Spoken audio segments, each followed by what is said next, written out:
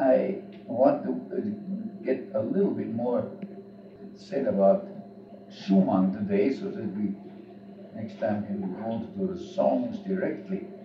Anyone, any other brilliant ideas about romantic music?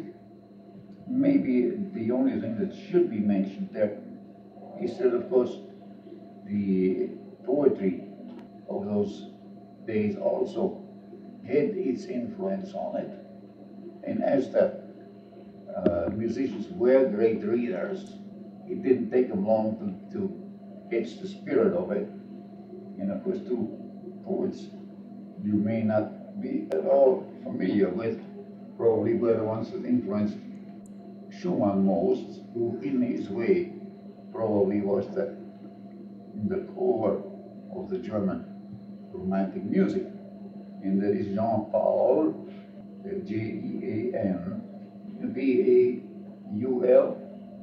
His original name was Jean, Paul Richter, and uh, he wrote some rather lengthy novels. Most famous is Die Flegeljahre. There is no real translation, the rascal years. I mean, the, the description of a very young boy changing into a man gradually. And the other, who may sound a little more familiar, are is uh, three initials, E.T.A. Hoffmann, who was an extremely talented, many-sided man.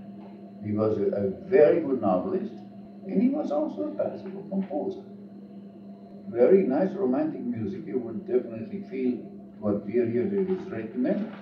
And you would say, yeah, it's a professional. I mean, it's not the greatest genius of Humboldt's professional music, there's no doubt about it. And of course, the work that brings us closest to Schumann is the, the memoirs, die Memoiren des Katers Murr, that's his name, M.U. And the whole idea, of course, is already startling. There, were, uh, there is uh, a musician, the conductor, by the name of Kreisler, spelled like the German not the car. Kapellmeister Kreisler, who wrote an autobiography on single sheets. And the cat wanted to write his own autobiography. So he took some of those sheets and wrote on the backside his biography. And of course, it is made so that they overlap to a certain extent. One breaks off, you think, well, just at the most exciting moment. And then, somewhere 40 pages later, in the story, the cat reports the solution of this thing that started on, on Kreisler. You see? So, it's extremely, extremely clever. And uh, given the name to Kreisleriana, the Schumann piano pieces, which means pieces in the spirit of, of this work, you know, this crazy musician always races in and out seemingly. And the, uh, there are many, many indications of it in, in some of the works. It, I don't believe there is an English translation. I have tried several times. Even wrote to Washington at the, at the National Library there, and I thought if you couldn't find it, then there probably isn't any. And it's a shame because it, it gives you such a good picture of the of the idea of a crazy musician of those days, you see. And he, he makes fun of it in a fairly benevolent way, actually, because he was one himself. So they, they started this trend that led us, of course, towards the whole idea of program music. And there you will see a quite different trend in uh, Chopin. We can't say program music. Just gave titles of dance forms or something like that, or ballad or something like that. But there is no, uh, this is really not program in that sense, though people have worked out very carefully what each note means now in the ballads and I don't know how much of it to believe, and I don't know how much I care to believe in the first place. I don't think it makes a bit of difference. So Mendelssohn, of course, has a certain amount of names. Nevertheless, he's not too interested either. I mean, he, I, I mentioned last time something about this thing, and I think I have it here, where he says somebody asked him to give him the meanings of some of the songs without words of the piano pieces. See whether you get a definite feeling there, but the, there are words under it that are just not not written there. And uh, I'm starting in the middle of it. The thoughts which are expressed to me by music that I love are not too indefinite to be put into words, but on the contrary, too definite. I mean, if you think that through for a split second, this is an, an excellent little trick there, you see? Because we sometimes say, well, I, I don't know what, what this phrase can mean. I wish you would give me an explanation, you see? And he says, well, if I can give you an explanation, then I write you a letter, then why bother expressing it in music? This can only be expressed in music because that makes it so that everyone can understand. And so I find in every effort to express such thoughts that something is right, but at the same time, that something is lacking in all. If you ask me what I was thinking of when I wrote it, I would say just the song as it stands. And if I happen to have had certain words in mind for one or another of these songs, I would never want to tell them to anyone because the same words never mean the same things to different people. Only the song can say the same thing, can arouse the same feelings in one person as in another. A feeling which is not expressed, however, by the same words. It's rather interesting. Of course, I believe there is a little point of disagreement that, that uh, music doesn't always mean the same either.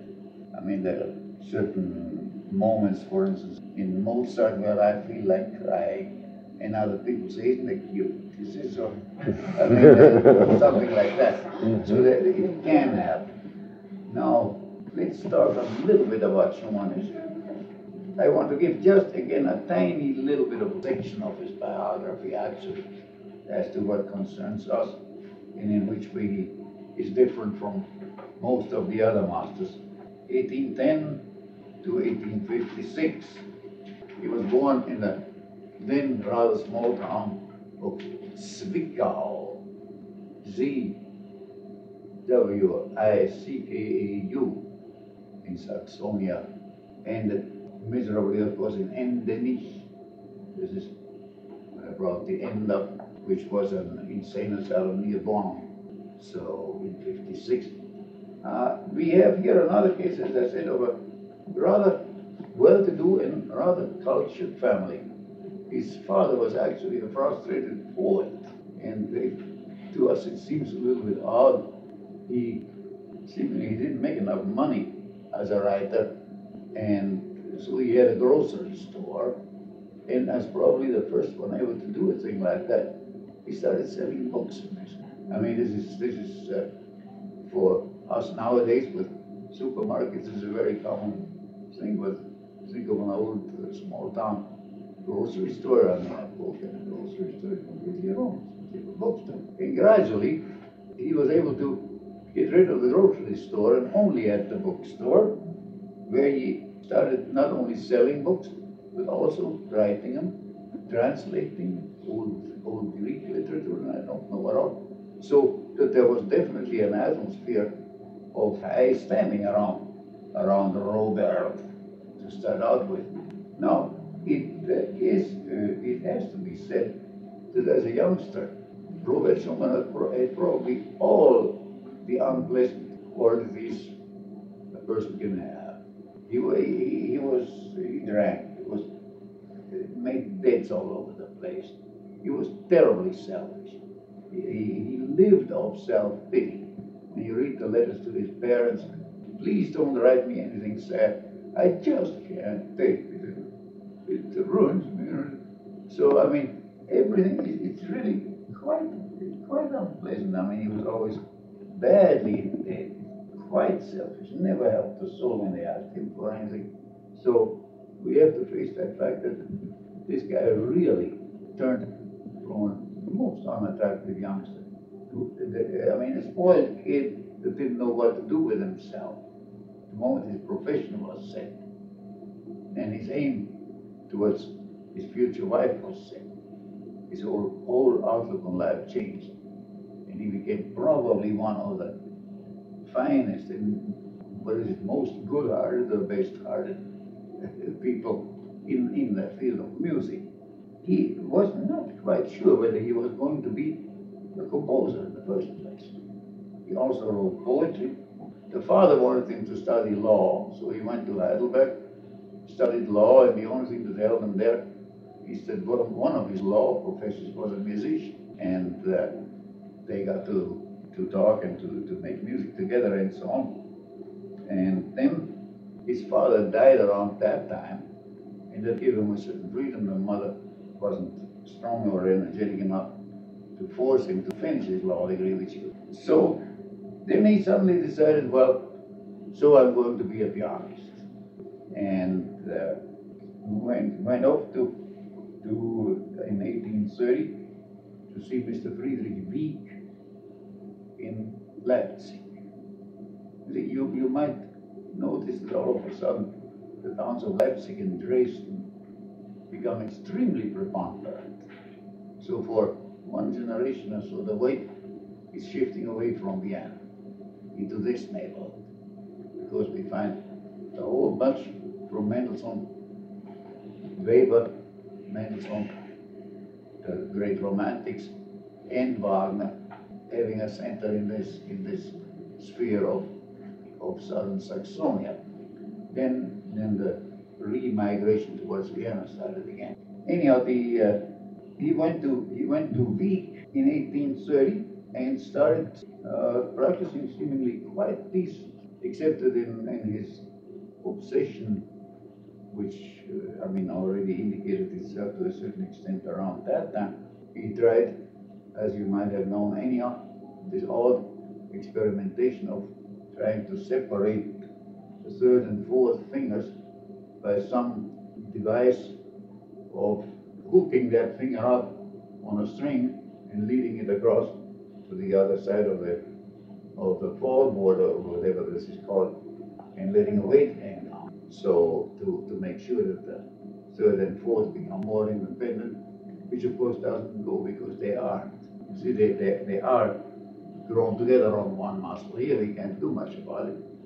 So with the result, uh, trouble and to quit for a while and then he tried again and it, it came to, uh, to a status where he knew that as a career piano playing will not be possible because he hurt himself so to speak beyond repair and this may have been a blessing in disguise because that way he's able of course to composing much more than, than he did before and his interest as you know stayed completely on piano music for for several more years. And his first 23 opus numbers straight through, without one exception, all piano. Nevertheless, he already had all sorts of sideline experiments. He was interested in writing and founded the Neue Zeitschrift für Musik